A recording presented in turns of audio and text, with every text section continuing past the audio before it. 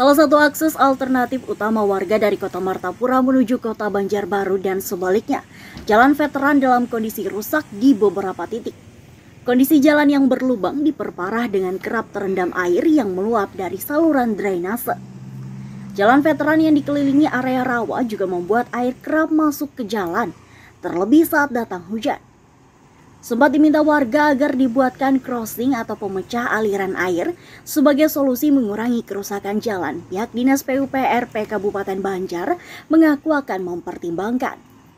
Mengenai crossing, uh, tentu nanti jadi pertimbangan kami dari pada saat pelaksanaan, bahkan uh, pada saat nanti awal emisional itu namanya mutual cek bersama itu nanti kita undang tokoh masyarakat. Kalau memang e, masukan dari warga dan kemudian pertimbangan teknis dari konsultan bersama kontraktor kita perlukan crossing atau apa pemecah aliran air maka bisa kita e, akomodir dalam perubahan kontrak.